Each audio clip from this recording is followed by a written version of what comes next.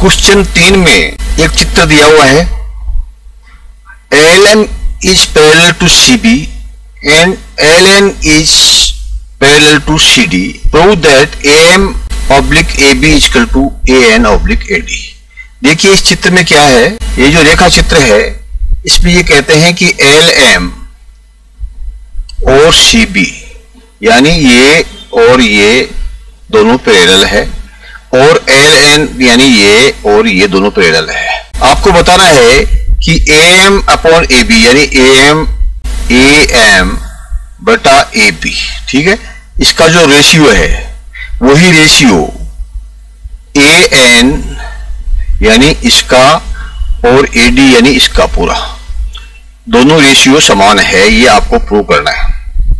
देखिए, जो आपका फॉर्मूला था BPT basic proportionality theorem basic proportionality theorem उसके अनुसार क्या होता है?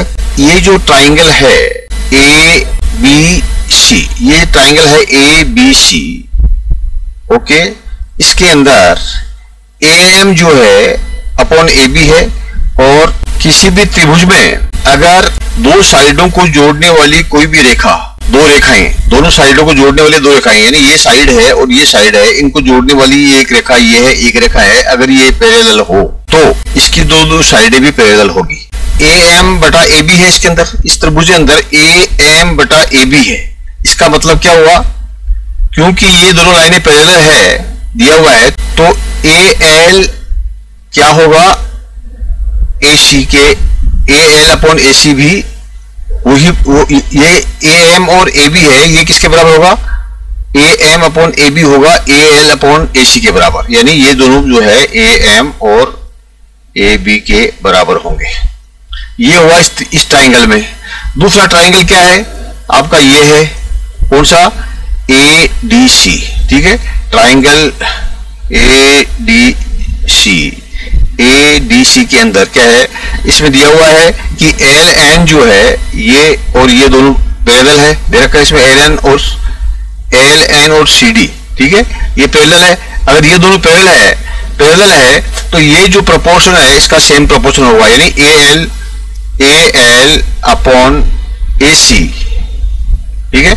इसके बराबर होगा ए एल अपॉन ए सी के बराबर होगा A N upon A D वही बीपीटी थ्योरी के अनुसार बेसिक प्रोपोर्शनल थ्योरियम के अनुसार, अगर ये दोनों पैरेलल हैं तो ये प्रोपोर्शन दोनों का सेम होगा।